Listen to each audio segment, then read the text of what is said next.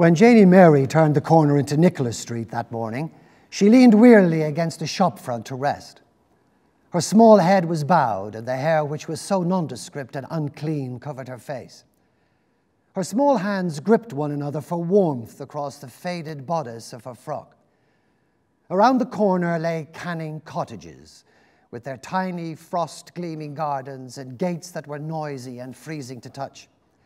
She had tried each of them in turn her timid knock was well known to the people who lived in Canning cottages. That morning, some of them had said, It's that little Carthy one, never mind opening. Twice in the last week she's been around. It's too much of a good thing. Those who did answer had been dour. They poked cross and harassed faces around half open doors. Tell her mammy, they said, it's at school she should have her, and not out worrying poor people the likes of them. They had the mouths of their own to feed and the bellies of their own to fill, and God knows that took some doing. The school was in Nicholas Street, and children with satchels were already passing. Occasionally, Janie Mary could see a few paper books peeping from an open flap, and beside them, a child's lunch and a bottle of milk. In the schoolroom was a scrawled and incomprehensible blackboard with rows of staring faces which sniggered when Janie Mary was stupid in her answers. Sometimes Father Benedict would visit the school. He asked questions in catechism and gave the children sweets. He was a huge man who had more intuition than intellect, more genuine affection for children than for learning.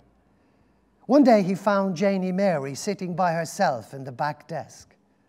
She felt him giant like above her, bending over her. Some wrapped sweets were put on the desk. And what's your name, little girl? Janie Mary Carthy, father. I'm Father Benedict of the Augustinians. Where do you live? Father Benedict had pushed his way and shoved his way until he was sitting in the desk beside her. Quite suddenly, Janie Mary had felt safe and warm. She said easily, I lives in Canning Cottages. He talked to her while the teacher continued self consciously with her lesson. So your daddy works in the meat factory? No, father, my daddy's dead. Father Benedict nodded and patted her shoulder. You and I must be better friends, Janie, he said. We must tell your mammy to send you to school more often. Yes, Father. Because we must see more of each other, mustn't we? Yes, Father. Would you always come to school? I'd like to come, Father. Father Benedict had talked with her for some time like that. The pair of them crushed clumsily in the, in the desk and their heads close together.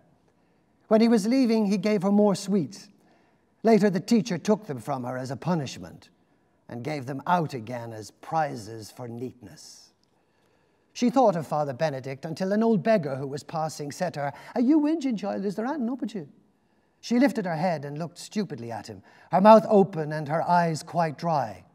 He was a humpbacked man with broken boots and a bulbous nose. The street about him was a moving forest of feet the stolid tread of workmen and the pious shuffle of middle aged women on their way from Mass. You look a big chook, he said. Are you after taking a turn? No, mister, she said, wondering. I'm only going for to look for bread at St. Nicholas's. Me mammy told me to. Your mammy left it a bit late then. They'll be going in to pray. As though awakened by his words, the bell of the Augustinian friary rang three times. It rang out with long, resounding strokes across the quivering street and people paused to uncover their heads and to bless themselves. Janie Mary looked up quickly. The steeple of the church rose clear and gleaming above the tall houses, and the golden slimness of its cross raced swiftly against the blue and gold of the sky. Her mother had said, Look till you find me, lady, and you won't lose your labour. This is the day of the blessed bread, and if you get it nowhere else, they'll be giving it out in St. Nicholas's. She turned suddenly and ran quickly up the length of the street. But when she reached the priory, the doors were closed and the waiting queue had broken into small knots. She stopped uncertainly and stared for some time. The priests, the people had said, are gone in to pray. They would be back in an hour. She was glad to turn homewards. She was tired now, and her bare feet moved reluctantly on the ice cold pavement. Johnny might have been given some bread on his round with the sticks, and her mother might have had some hidden away. Her mother sometimes did that so that Janie Mary would try very hard to get some.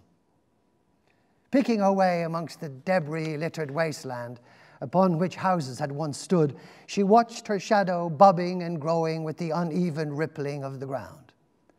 The light of the wintry sun rested wanly on everything, and the sky was dizzily blue and fluffed a little with white cloud.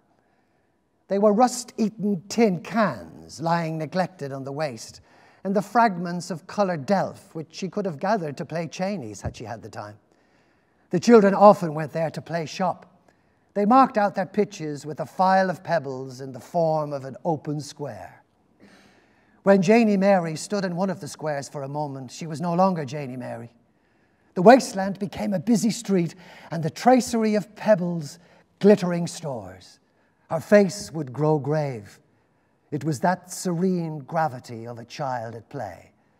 But when she stepped out of the magic square, she was again Janie Mary, a Janie Mary who was cold and hungry and whose mother was waiting impatiently for bread that had not been found. There was none, she said, looking up at her mother's face. Nobody would give it, and the man said the priests wouldn't be back for an hour. She looked around hopefully as she spoke, but there were only a few crumbs on the table. They littered its grease fouled and flower patterned covering. An enamel jug stood in the center, and about it the slopped ugliness of used cups. Now that she was home, she realized how endless the morning's trudging had been she realized how every door had been closed against her. Her mother's voice rose. Then you can go without. Are you after looking at all, you little trollop? Two hours to go the length of the street and around to the holy priests, and all of us in awakeness with the hunger, and Johnny going out with the sticks and him famished, as just for the little bit of bread that I had left away. Are you after looking at all? The enamel of the jug was broken in three places. The breaks were spidery, like the blobs of ink which used to fall so dishearteningly onto our copybooks. Down the side of each cup clung the yellow residue of dribbled tea. The whole table shifted suddenly and went back again, and her mother's voice seemed far away. Janie Mary needed to sit down. Gallivanting, her mother said. Off gallivanting with your pals. I'll gallivant you, but you can go back again. There's nothing in the house. Back with you to the priest's house and wait like any Christian for what's going. And take that bag with you. You won't do a hand's turn till you do that. Janie Mary stood with her hands clasped in front of her and looked up at her mother. The thought of going back again filled her with misery. I asked, she said. I asked everywhere. Then you can ask again, said the mother. You can ask till you find, and swung away. Janie Mary went wearily to the corner to fetch the bag. The kitchen trembled and became dark when she bent to pick it up. As she went out of the door, her mother said, Put a bit of hurry on yourself there and don't be slinging. It's certain you'll ever die with the beating of your heart. The world and its wife would get something, and mine'd be left. Once more, she was out in the ancient crookedness of streets, picking her way amidst the trundling of wheels and the countless feet. Tiny and lost beneath the steepness of houses, she went slowly, her bare feet dragging and dirty. At this hour, the shops in Nicholas Street were crowded with women who haggled over half pennies. White coated assistants leaned quickly over marble topped counters with heads cocked to one side and pencils raised in readiness, or dashed from counters to shelves and back again, banging things on the scales and then licking pencil stubs while they frowned over figures. Sometimes Janie Mary used to stand and watch them, but now she went by without interest. When a tram went grinding past her, her lips trembled, and though the rails after it and before it gleamed in the sunlight, it was a pale, cold gleaming. There was no friendly heat of the sunlight. There was nothing friendly. There were only trundling trams and tramp of feet, and once again the slim cross on the spire of St. Nicholas's. On the Feast of the Blessed Bread, it was the custom of the priests to erect a wooden counter on the high steps before the door of the priory. Here, two of the brothers stood to watch the forming of the queue.